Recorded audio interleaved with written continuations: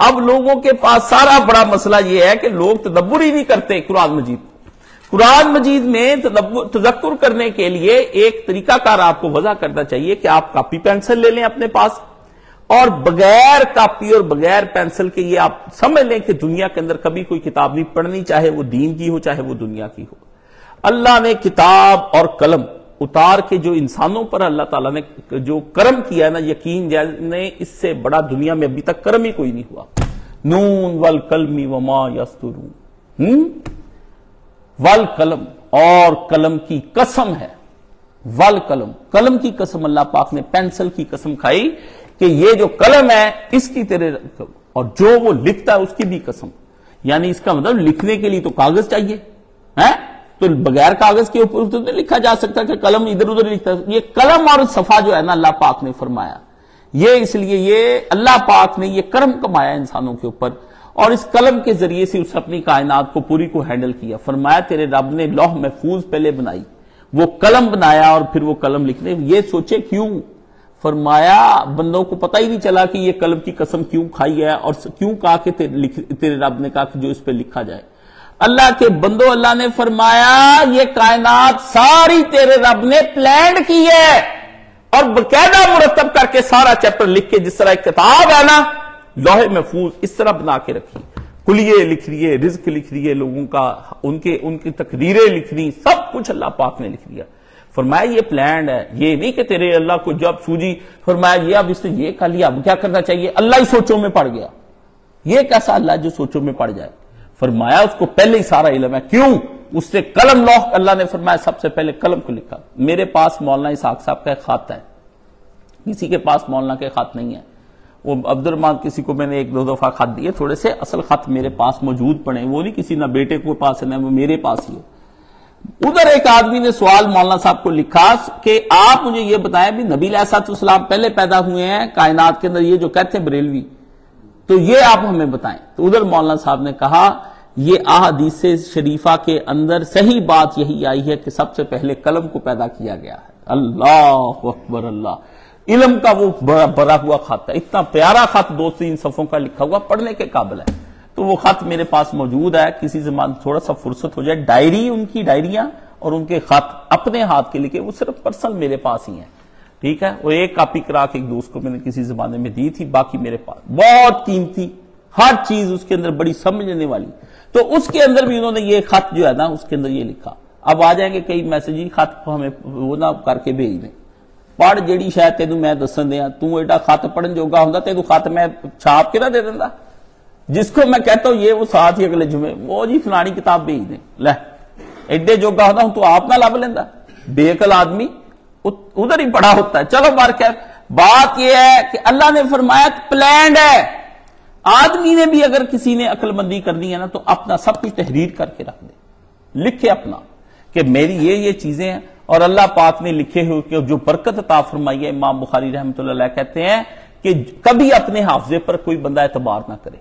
हमेशा अपने लिखे हुए पर लिखे, उसे टैली करे। और जब पढ़नी है हदीस, दोबारा फिर उसको देखे कि मैं सही हदीस ही बयान कर रहा हूँ कि लफ्ज मेरे से आगे पीछे तो नहीं हो गया। इसलिए किताबें बहुत अच्छी नेमत थी। पर इंसानों ने इस दौर में इतना छापा खाना लगा के लाजानी किताबें ज़्यादा छाप रही और जो बा माना बा मकसद किताबें थी, वो कम हो गई। और अजीब बात है कि वामुन्नास लाजानी किताबें ज़्यादा पढ़ती। और आप ये देखें, यूरोप में सबसे ज़्यादा पढ़ने का रेट, रेटिंग है। रेट उनका ऊपर चढ़ता जाता है कि इतना उन्होंने पढ़ा मुताला। लेकिन वो देखे, फिर भी गुमराह क्योंकि वो लाजानी मुताला करते हैं। बसों में भी पढ़ रहे हैं, जहाँ भी पढ़ रहे हैं, फिक्शन पढ़ते हैं, साइंस पढ़ते हैं वो फैंटेसी की चीज़ें अफसानवी पढ़ पढ़ा के उनका मोमन का मुताला इस तरह का नहीं होना चाहिए। एक कलम लिख, रख ले और कुरान मजीद को पढ़ता जाए। जहाँ इसको समझ ना आए कि ये कुरान मजीद की आयत नहीं समझ आ रही, उसका वहाँ हवाला लिखे कि आयत नंबर तेरह, सूरा अल अराफ ये मुझे समझ कोई नहीं आई। और उस पर जो समझ क्या नहीं आई, उसका वो लिखे वहाँ पर। ये नहीं कि मैंने कल समझ नहीं आई। लिखे क्या, समझ नहीं आया इसके अंदर। बस फिर आगे गुजर जाए। अगर वो वहाँ रुक गया और रुक के कहा, पहले मैं इसको पढ़ लू, फिर आगे मैंने जाना है। तो फिर वो पढ़ गया कुरान मजीद। फिर पग मुक गया। ठीक नहीं, फिर नहीं, शैतान ने वसव से डाली जाने हर हर कदम पर। उसे कह नहीं, कहा, उस्ताद जी ने कहा था, बाज बातें सिर्फ़ मुर्शद की मानने से आदमी कामयाब होता है। कि नहीं, उस्ताद जी ने कहा था, यहाँ पे रुकना नहीं है, इसलिए चले। देखें, मुर्शद की बात मानी है तली ने। खत लिख दिया था, तब भी अभी बलता नहीं। मुशरकिन को कि नबी पाक हमला करने वाले औरत को खत दिया और औरत को कहा, खत पहुँचा। औरत ने कहा, ठीक है, खत पहुँचा देते हैं. नबी पाक के पास हज़रत जबरील इस्लाम आ गए। उन्होंने आकर यार सुल्ला आपके प्लान की सारी खबर जो है ना हातब ने दे दी है, उधर मक्का के अंदर, वो तो पहले अलर्ट होकर जंग शुरू कर देंगे खाना काबा में। नबी इस्लाम का इरादा यही था कि खाना मदीने, मक्के में इस तरह दाखिल हो कि अमन हो। अचानक ही वहाँ पर पहुँचे, वो हमसे मरूब हो के जंग ना होने पाए किसी, वरना वो जंग की तैयारी कर लेंगे सारे अरब को इकट्ठा करके। वो खत औरत लिए जाए और हतली को रसुल्ला ने तीन साहबा को भेजा, फरमाया, फला, जब तुम यहाँ से चलोगे, देखो रसुल्ला सल्लल्लाहु का। नबी को जब अल्लाह इल्म गैब देने पर आता है तो फिर ऐसा देता है, मैं कहता हूँ, फिर उस इल्म गैब के मुकाबले में कोई शय आ ही नहीं सकती। और जब नहीं देता अल्लाह ताला तो फिर कोई, तब भी कोई शय नहीं आ सकती। दोनों ही सूरतें ऐसी अल्लाह बना देता है। हजूर ने कहा, जब तुम यहाँ से चलोगे, वो औरत में फलाने मुकाम पर मिलेगी। वो पहले जा चुकी है।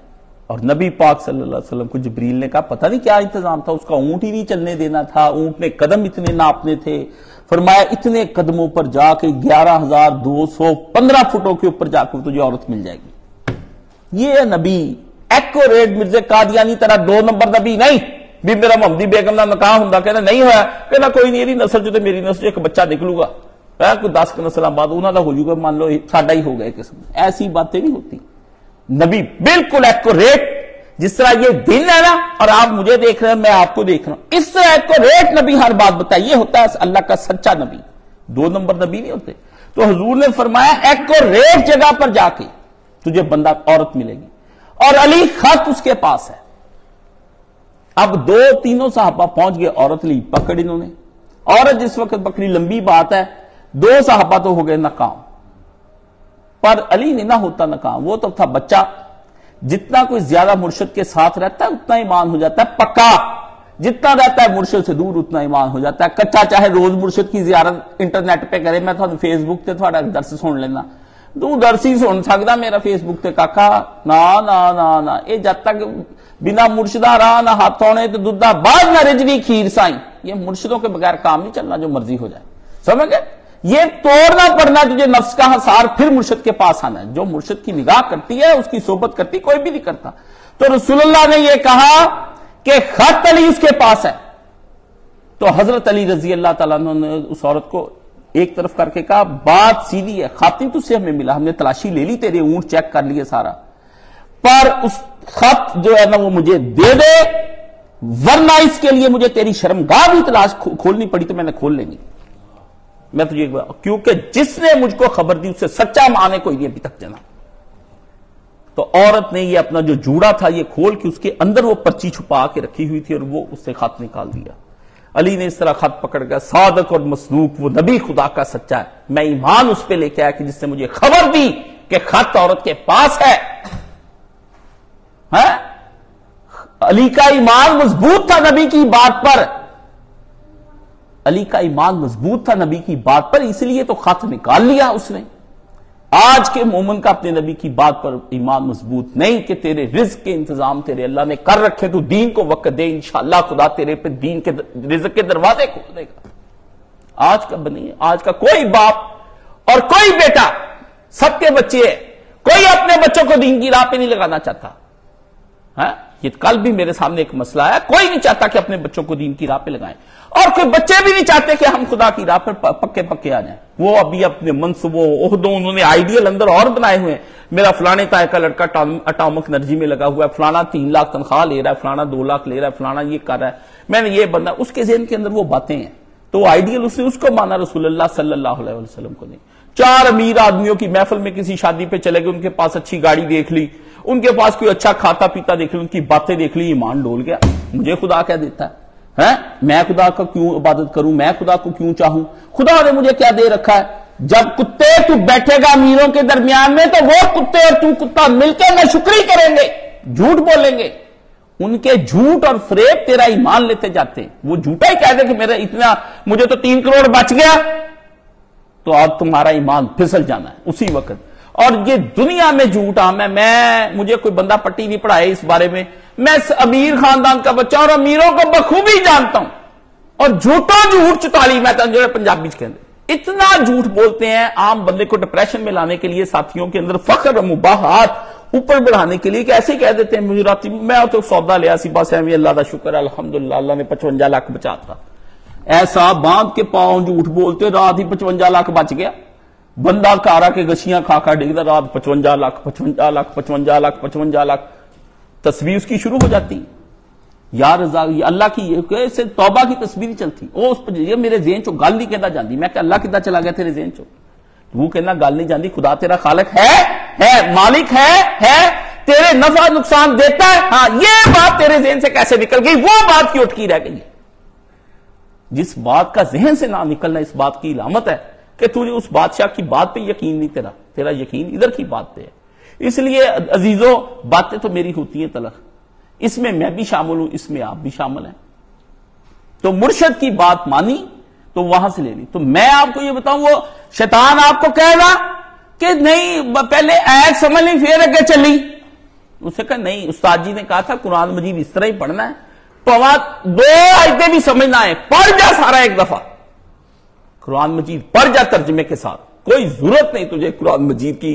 तू अलग से तलावत करता फिरे और तो कह के फिर नहीं। अकेला तर्जमा लेके सारा एक दफ़ा खत्म कर जा। और निशान लगा, बेशक कुरान मजीद पे निशान लगा ले अलग भी काफ़ी पेंसिल नहीं लिखने की तो इतना ही काहल हो गया है। ऊपर लगाता जा कच्ची पेंसिल के साथ कि ये आए थी मुझे नहीं आई, ये नहीं आई। हम्म मौलाना अब्दुल माजिद दरियाबादी हो गए, मुर्ताद। अकबर इलाहाबादी नहीं, जिसको आप शायर जरीफ कहते हैं। बहुत लामा इकबाल से भी बड़ा शायर है। बस उसने कलाम बड़ा ना हँसी मज़ाक वाला लिखा है और वो लगता है कि हँसी मज़ाक कर रहा है। कर वो मगरब पे तनकीद रहा है। अकबर उसको, अकबर को लामा इकबाल मुर्शद लिखते रहे। तो अकबर को वो मुलाकातें हुई। तो अब्दुल माजिद दरियाबादी से उन्होंने कहा, मिया, सुनाओ। कहते, मैं कुरान नहीं पढ़ता। उन्होंने कहा तो ना पढ़ो। भाई, तुम्हें कौन कहता कुरान हिदायत की कोई किताब है या इस तरह की? छोड़ो। कुरान मजीद अरबी लिटरेचर की बड़ी बेस्ट बुक है। इसके अंदर बड़े बड़े टॉप क्लास के लफ्ज हैं डिक्शनरी बड़ी टॉप की है। समझा करो, कोई अदब की कोई शैब पढ़े, चलो झूठ ही सही, और झूठ होता अदब भी बड़ा प्यारा होंगे कई सारे अदब सच्चे जितने तो अफसाने आगे पढ़ता है। अरबी अदब की किताब से लिटरेचर समझ के पढ़ लिया कर। हाँ तो मज़ाक था कोई नहीं, वैसे थोड़ी गल मशवरा से। लेके पढ़ना, कह अच्छा जो आयत समझना ना है उसे अल्लाह ने सही नहीं लिखी। गल तो क्लास ला दी तो मैनू ज़रूर दिखा दी एक बारी। मैं देखा सही, अल्लाह तला ने केड़ी केड़ी गलती की थी। अल्लाह अकबर अल्लाह अकबर। मुर्ताद हो गया, दोबारा मुसलमान हो गया। आठ जिल्दों में कुरान मजीद की ऐसी तफसीर लिखी कि बेनजीर किताब बना दी।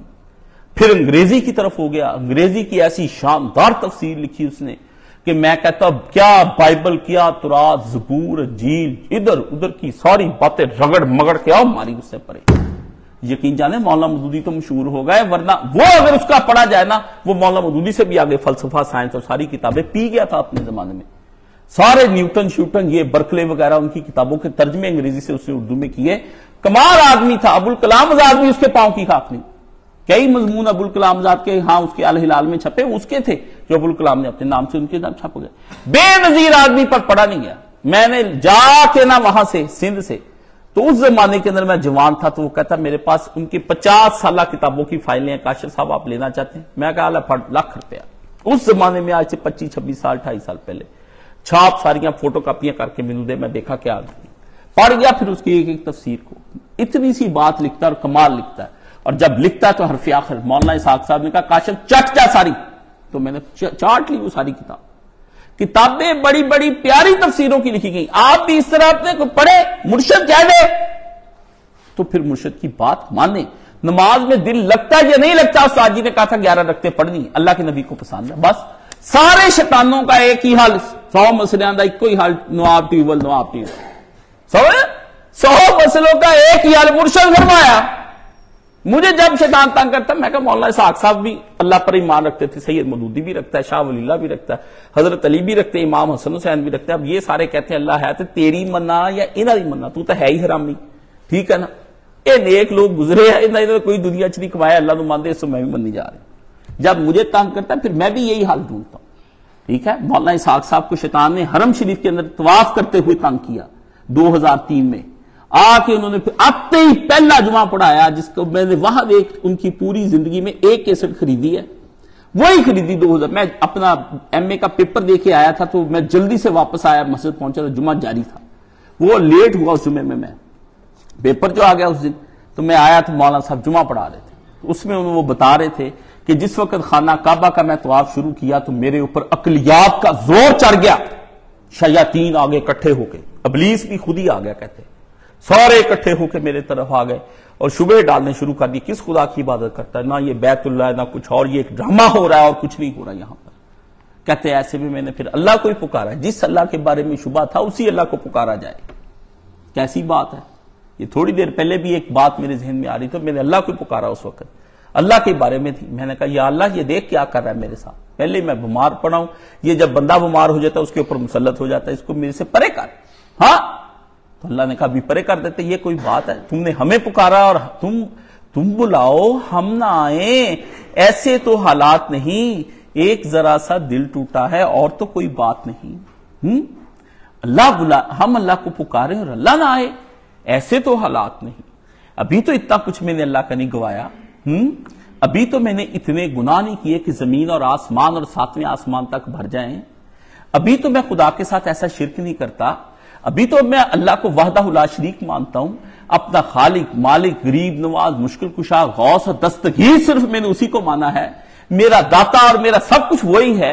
अब, अभी भी मैं कुछ नहीं मेरा तो अल्लाह तेरे मेरे ताल्लुक जब अल्लाह के और मेरे नहीं खराब हुए तो शैतान तो कैसे कहता है, मैं पुकारूं और वो ना आए? ऐसे तो हालात नहीं। इतना मेरी, ये मेरे यार के साथ मेरी लड़ाई नहीं हुई कि तीसरा बंदा दरमियान में आके हमारी सुलह कराए, ये यराना नहीं है। तीसरा आके सुलह कराए। ये मोहब्बत नहीं है मोहब्बत महबूब के दरमियान में जब तीसरा आके सुलह कराए। ये आशक मशूक वाला असल मसला शुरू हुआ ही नहीं जब तीसरे को दरमियान में दाखिल होकर दोनों को आपस में जोड़ना पड़ जाए। ये दोस्ती थी नहीं, ये छोलों का वादी था जो था। ये नहीं था। मोमन और उसके रब के ताल्लुक किसी सूरत में कशीदा नहीं हो सकते। मोमन कितना ही गंदा लिथड़ा हुआ क्यों ना हो जाए। पेशाब और पखानों के गुनाह जितना लिथड़ा हो जाए, वो उस समंदर का क्या बिगड़ता है रहमत का? कि उसके अंदर एक मोमन आके लिथड़ा हुआ, आके नजास्तों वाला छलांग लगा दे और वो कह दे कि मैंने तुम्हें साफ़ नहीं करना, तुम्हें मैंने पाक नहीं करना। ये बदगुमानी है और है और है। ये बदगुमानी है। अल्लाह अपने ऊपर हर गुनाह को माफ़ कर देता है मोमन के, लेकिन अपने ऊपर बदगुमानी को माफ़ नहीं करता। कर नहीं, तूने मेरे और अपने रिश्ते का तकदस नहीं रखा। तूने मान मेरा तोड़ दिया बंदा। तूने मेरे पे फख्र नहीं किया। तुझे मुझ पर फख्र करना चाहिए था कि मेरा अल्लाह है। हम्म? तुझे मुझ पर गुरूर करना चाहिए था। अगर तूने गुरूर करना ना मुझ पर अभी तक सीखा तो तुमने अभी मुझे अल्लाह ही नहीं माना। मेरा अल्लाह है। मेरा अल्लाह मेरे हज़ारों काम करता है। एक काम अगर उसने नहीं किया तो वो भी इसलिए नहीं किया कि मेरी बेहतरी के लिए भी किया उसने। मेरी बेहतरी के लिए नहीं किया। मुझे पै दर पे नाकामियाँ आ रही है तो इसीलिए आ रही है कि मुझे इसके बाद पै दर पे कामयाबियाँ मिलनी है। इंशाला ये अल्लाह के साथ बंदे की बदगुमानी। ये है वो चीज़ जब तक मोमन के अंदर ये चीज़ पैदा नहीं हो जाती उतनी देर तक बंदा अपने अल्लाह के साथ नहीं सेटल हो सकता। तो मुर्शद के कहने पर साफ़ कह दे कि मेरे अल्लाह ने यह फरमाया। क्योंकि फौज के कमांडर का सिर्फ़ हुक्म मानना है, फौजी का काम दिमाग चलाना नहीं है। वो देखे कि मेरे सर ने कह दिया महाज पे खड़ा ना गोरी, चलाओ फायर बस फायर क्यों नबी पाक ने कहा, अमीर की अतात करे? मुर्शद भी अमीर ही होता है, अपनी अतात करे अमीर की। बुलाया, हाजिर, खड़े हो जाओ, हो गए। नमाज़ पढ़ा करो बस पढ़ ली। उस्ताद जी ने कहा था, पढ़ा करो। तुम्हारी जगह हम जो जंग लड़ रहे हैं, तुम्हारी जगह हम जो दिमाग चला रहे हैं, हम अल्लाह के यहाँ करीब पहुँचे हैं, हम तुम्हें जो मंजिलें तय कर चुके हैं, हम तुम्हें फ्री में जुमा पढ़ा रहे हैं। इतनी हज़ारों किताबों का नचोड़ तुम्हें पढ़नी नहीं पड़ती। तुम्हें पढ़नी नहीं पड़ती। पढ़ा पढ़ाया बना बनाया सालन खीर प्याज, बाप की तरह जैसे बाप नहीं शाम को कमा के ला के चिकन पीस देता है, उस बाप को पूछो कि किस तरह कितनी मेहनत से कमा कर वो लाता है। तो ये उस्ताद जब मिल जाए अच्छा तो आप फिर उसकी कदर करो कि आपको समय तो कुरान मजीद को पढ़ो। तो कुरान मजीद के अंदर अल्लाह पाक फरमाते हैं कि जब आदमी को हम कुरान मजीद देते हैं तो फिर क्या होता सयाह दी हिम व यूसलिहू बालाहूम। क्या कहते हैं? हम उसको फिर क्या है? जल्द हिदायत देंगे और उसके हालात ठीक कर देंगे। बाल किसको कहते हैं? बाल सर का लिखते जैसे बाल है ना, सर के बाल का, यही बाल है। हुँ? हम्म? क्या वो पढ़ते वो जैसे यह दिकुमुल्ला हो वह युसलिहू बालकुम। अल्लाह तुम्हें हिदायत दे और तुम्हारे हालात को दुरुस्त करे। मौलाना साहब जा रहे थे तो मैं बच्चा था, उनके साथ वॉक करके सुबह की सात बजे वापस आ रहा था, सर्दियों के दिन थे तो मैं वापस आ रहा था तो मुझे आई छींक। तो मैंने कहा, शुक्र अल्हम्दुलिल्लाह। तो मौलाना साहब ने कहा, नहीं, अल्हम्दुलिल्लाह के ला शुक्र अल्हम्दुलिल्लाह नहीं। हम्म? घर में अम्मी जान सारे कहते थे। तो मैंने कहा अच्छा जी। तो उन्होंने कहा, फिर यहमकुल्ला के बारे में कहा कि अल्लाह तुम पे रहम करे जवाब में। तो कहते, अब तुम कहो याहदी कुमुल्लाह व युसलिहु बालाकुम। मैंने कहा अच्छा। तो मैंने कहा याहदी कुमुल्लाह व युसलिहु, भूल गया, कहते, बालाकुम। मैं रस में पढ़ता है याहदी कुमुल्लाह व युसलिहु बालाकुम। फिर मैं वापस आया। फिर आके मैं गली भूलने लगा। मैंने कहा, मैं घर जा रहा हूँ क्योंकि अब स्कूल जाना है। तो मैं सलाम, मैंने कहा याहदी कुमुल्लाह हो व युसलिहु बालाकुम कहते माशाल्लाह तो इनको याद हो गया काशिफ कैसी बात है। अभी वो आयत पढ़ी तो उनका साथ वाक्य मुझे याद आ गया। जब बंदा पढ़ता है तो मुर्शद बात बात पर याद आता है। ये लफ्ज पूछा था, ये लफ्ज। वो जब आता है तो जहन हाजिर होता है तो फिर मुर्शद के लिए दुआ करता है कि, या अल्लाह, मेरे उस्ताद जी को करवर करवर जन्न नसीब फरमा, और उनकी कबर पे नूर अनवार की बारिश और उनके इतनी बारिश फरमा कि माँ नबीन व सिद्दीकीन, शहदा उनका हाल फरमा। हुँ? और यहाँ से उनको ठंडी हवाएँ पहुँचे कि मेरे पीछे दीन का काम करें। तो बाल से मुराद असल में होता है वो मौजूद लम्हा जिसमें आप रह रहे होते हैं, आपका प्रेजेंट और इससे मुराद असल में होती है आपकी जहनी हालत। तो अरबों के यहाँ अक्सर वो जो पूछते हैं वो कहेंगे, राहतल बाल। ये अरबों के यहाँ ये बोला जाता है राहतुल बाल का। तो बाल का तर्जमा इसके बाद क्या? कि आप जिसमानी तौर पर तंदुरुस्त हैं अकलमंद भी है, दिल भी ठीक काम कर रहा है। और बाहर जिसमानी तौर पर कोई नक्स नहीं है, लेकिन आपके पास जहनी सुकून नहीं है। सब कुछ ही है, जहनी सुकून नहीं है। आप परेशान हो जाते हैं। जब ऐसी आपकी हालत होती तो फिर हर नेमत आपकी बेकार हो जाती अब मेरा बिस्तर जाके देखें, मैंने कोशिश की, दो उसके ऊपर गद्दे बिछाऊं चार पाई के ऊपर कोई फ़ायदा नहीं हुआ। फिर सीधा किया, कोई फ़ायदा नहीं हुआ। ज़मीन पर लेट गया, कोई फ़ायदा नहीं हुआ। ऊपर कंबल लिया, भाई, कंधे में दर्द है, फ़ायदा कोई नहीं हो रहा मुझे। क्यों? दिल में सुकून नहीं है। दिल बेचैन है। कैसे उस बीमारी की वजह से? तो फरमाया, अगर आपके पास कुछ भी नहीं है, अगर जहनी सुकून आ जाए तो फिर आप बादशाह है। फिर आप बादशाह है। फिर आपसे बड़ा बादशाह कोई नहीं। इसलिए कुरान मजीद ने कहा कि हम, जिससे हिदायत हो रही है ना, अल्लाह ने फरमाया कुरान से उसे दौलत, शोहरत जिस्मानी तंदुरुस्ती सब कुछ भी दे दी जाए। मगर अगर उसका बाल ठीक नहीं ना, उसका मौजूदा प्रेजेंट लम्हा मूवमेंट एट दिस टाइम ये अगर ठीक नहीं तो अल्लाह ने फरमाया उसका कुछ भी नहीं है। ठीक है ना? आप जब एक दूसरे को मिलते तो क्या कहते हैं? भैया आपका क्या हाल है? तो वो हाल आपको तो बिल्कुल सही पता होता है कि वो सही चला आ रहा है, बिल्कुल ठीक ठाक नज़र है। नहीं, आप असल उससे पूछ रहे होते हैं कि तुम बाहर तो तंदुरुस्त लग रहे हो, मगर अंदर नहीं पता चला तुम्हारा, उसका बताओ कि तुम्हारा ठीक है, हाल ठीक है। तो वो आगे से बाजुका तो कह देता है, हाल तो अल्हम्दुलिल्लाह कुल्ली हाल लेकिन अगर तकलीफ़ हो तो कहता है, यार, हाल बड़े माड़े चल रहे हैं। है? हाल ही तबाह कर देता है, अल्लाह पाक ने फरमाया। फरमाया, मोमन को जिस वक्त वो अल्लाह की किताब की तरफ़ आ जाता है तो उसका फिर हाल सही होना शुरू हो जाता है। अगर उसका बाल ठीक नहीं है, राहतुल बाल उसको हासिल नहीं हुई, वो फिर इस तरह ये तड़प रहा है, आज कोई फैसला कर रहा है, कल सवेरे कोई फैसला, परसों कोई चौथ, कोई पंद्रह मिनट बाद कोई मेरे पास बैठा, कोई बाहर जाके कोई टेलीफोन पे पैगाम आया, कोई हज़ार बातें करता जा रहा है, ये पागल हो चुका है। ऐसे इसलिए ऐसे लड़कों को मैं काम ही कुछ गिर्द बनाता हूँ, वो मेरी बदनामी का बायस हो जाएगा, कह गया जे यही गुरु जी ने चेले आ माशाला गुरु होने का की हाल होगा। है जी? वो मेनू गल याद आ गई, चलो सुना देते। कहते वो ना एक आदमी ना ने देखा भी सिखों के यहाँ एक आदमी था, उसने देखा करतार सिंह, जो धर्म सिंह का लड़का, ये तो खड़ा होकर पेशाब करता है। उससे कहा, बड़ी बुरी बात है भाई। उसे कहा, जाता हूँ मैं घर जाके। इसके बाप को बताता हूँ कि इसको अकल नहीं है। करतार सिंह को, समझाओ तुम, ये खड़ा होकर पेशाब करता है। है जी? ऐसा बेवकूफ़ है, इस बच्चे को अकल कोई नहीं। जब वो गया घर तो आगे देखा, धर्म सिंह वेड़े में फिर फिर के पेशाब करे। है? उन्होंने कहा, चलो जी तो वापस चले। खुदा हाफी वो हाल आपका भी आप जैसा कोई पागल, मैं कर मरीद हो जाके, मैं काश साहब का मरीद है। वो देख के चौधरी कवे काशफरी भी हिले है लगता समझ गए जिन्हें इनू मरीद कर लिया। अल्लाह के बंदे को जाके अच्छा तासुर दें तो पता चले कि आप अच्छे तालब इलम। तो बात यह है कि जब तक आदमी अपना तजक्र नहीं करता, उतनी देर तक। अब आ गया दूसरी चीज़ ये तदब्बर। तदब्बर कुरान मजीद के अंदर दो चार मिसालें सुनानी है आपको, ताकि ना आपको पता चले तदब्बर क्या होता है। अल्लाह पाक ने कुरान मजीद के अंदर एक जगह पे फरमाया चंद मिसालें देता हूँ, फिर बात को खत्म करें। अल्लाह फरमाते, कुल्ला मा दाखला अलैहा जकरिया। अल्लाह पाक ने हज़रत जिक्रिया का बारे में बताया। जकरियल मेहराब जो है ना, मेहराब में हज़रत जिक्रिया अलैहिस्सलाम दाखिल हुए, जाए इबादत गाह जो थी ना, वहाँ दाखिल हुए ना तो मरियम के पास, वाजादा इंदहा रिजकन। तो जब भी वो दाखिल उसमें होते तो वहाँ कोई ना कोई रिजक वहाँ पर पड़ा हुआ पाते। अल्लाह अकबर कबीर, अल्लाह अकबर। है? ये अब आपको बड़ा नुकता बता अब इसमें तदब्बर क्या है? कि आपने कैसे सोचना है? बंदे पूछते थे कि साजी तदब्बर किदा करिए? अल्लाह अकबर जिदा गुनाह वारी कर दे। उदा तदब्बर करो। घेरनी है बुलानी है, रखनी है घर तक किदा पहुँचना है? हैं? जैसे गाहक को घेरते हो, सवेरे तो शुरू होने, शाम तक वो पिछे ही पै रहने हो। और चौधरी, की हाल है? मैं आऊँगा तेरे को इंशाला चाह दो भरा रल के बैठ के बड़ी तदब्बर हो रहा। भी इनको बाल खिंचना है मैं। तदब्बर के बड़े रंग है। गुनाह करते वक्त और माल कमाते वक्त और बंदा फांसते वक्त, शीशे में गाहक को उतारते वक्त सारा तदब्बर का ज़ोर लगता है? अल्लाह की किताब है, उस पर कोई ज़ोर नहीं। है?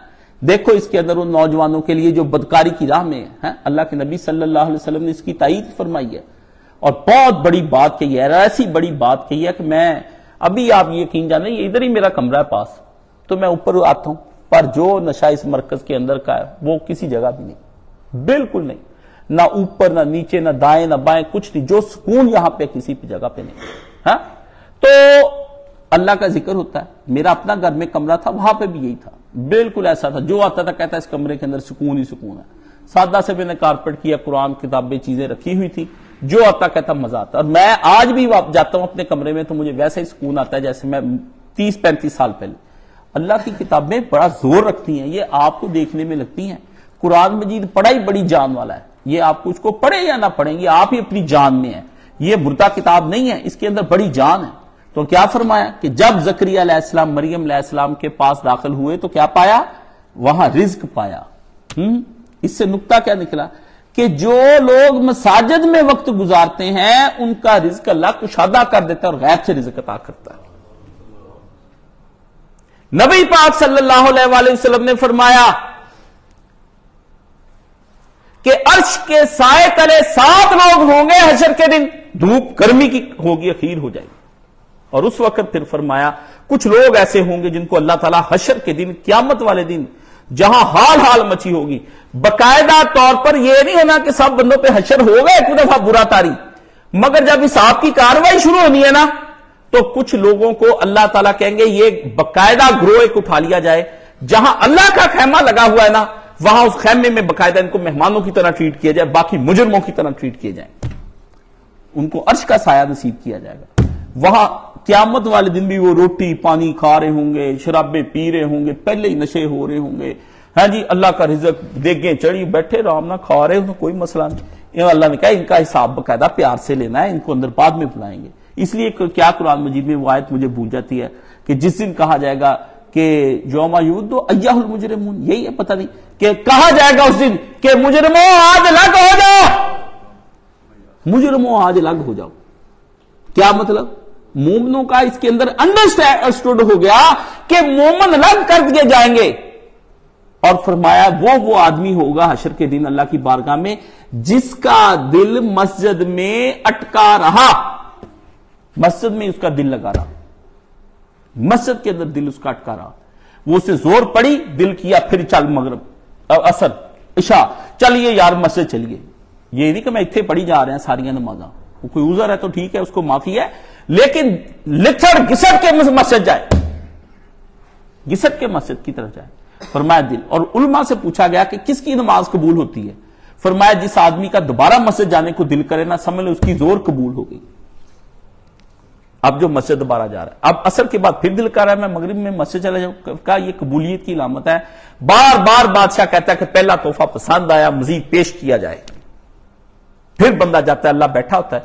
आपको लगता है ना कि अल्लाह ताला अल्लाह ताला जैसे मैं नहीं बैठा और आप सारे बैठे। बिल्कुल ऐसे ही है, सिर्फ़ पर्दा उठने की देर है। हर मस्जिद में अल्लाह ताला बैठा है और बंदे अल्लाह को सजदा कर रहे हैं और अल्लाह ताला सामने बैठा देख रहा है किस किस का रकू ठीक है, किसका क्याम ठीक है, किसी का सजदा ठीक है, कोई तैयार ठीक पड़ रहा है, कोई दिल में और ख्याल लेके आ रही है। अब नमाज़ पढ़ना फिर पता चलेगा, सुबह तहजद के वक्त भी उस्ताद जी तो कहते हो मसले ले गया कि भेजना कुर्सी डाके हम्म? एक बंदा मुझे मिला, वो मुझे कहने लगा काशिफ यार, रात में इस तरह हुआ कि मुझे लगा कि गोया अल्लाह ताला ही सामने मसल्ले के बैठे हुए हैं। तो थी चारपाई, मसल्ला आगे डाल, डाला, वो कहता, मैं इतने ज़ोर, शोर से रोया, इतना अल्लाह की मोहब्बत में रोता रहा, माफिया माँगता है, मैं चारपाई का पाया पकड़ लिया मुझे यूँ लगा जैसे मैंने गोया अल्लाह ताला की टांग पकड़ी हुई है। कहता है, कुफर नहीं, मैं कहा पाई तब मौलाना को पूछ के दसूँगा।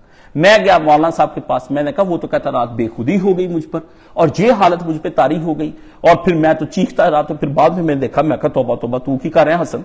बाद में कहते मैं मौलाना साहब ने कहा, उसे कहीं, कोई नहीं, अल्लाह तेरी इस मोहब्बत को भी कबूल फरमा लेगा। हम्म? भाई अल्लाह तला की कई कहते, रिजक नहीं आता लड़का, जो लड़का, मैं परेशान हूँ, जो बंदा आ जाता है, मैं पूछता, मस्जिद मस्जिद भी जाइदा वाह? हम्म? जैसे कोई कामों में से कोई काम हो। बंदा है खुदा, मुझ पे भी अल्लाह ताला ने एक वक्त भेजा। बिल्कुल कोई नौकरी को कारोबार, कुछ नहीं था। बस सुबह मैंने निकलना, अपना एक तकिया था उठाता, जाके मस्जिद में लेट जाना। बस, घर में दोपहर के लिए थोड़ा सा कुछ, कभी खाने के लिए आ जाना, कभी नहीं। रात तक मस्जिद के अंदर अल्लाह की, कुछ भी नहीं पढ़ना, वहीं पे रहना। फ़ायदा क्या होता है? कि गुनाह का ख्याल नहीं आता बंदे के जेहन में। वरना घर बैठे बंदे के अंदर गुनाह का ख्याल आता रहता है। मस्जिद में पैरा लग जाता है कि इसके ऊपर गुनाह का ख्याल ना है आराम से बंदा बैठा रहता है। कई बंदों को यहाँ मौका देते हैं कि मस्जिद के अंदर आके बैठे। वो जनाब मस्जिद की तबाही फेरते रहते हैं। कभी यह किताब छेड़, कभी और किताब छेड़, कभी और तो इतने छेड़। देखता रहता हूँ, मेरे पास सारे कुलिए हैं। मैं नज़र देखते इसकी बेचैन, रूत को मैंने कहा सही काटे दो बाहर।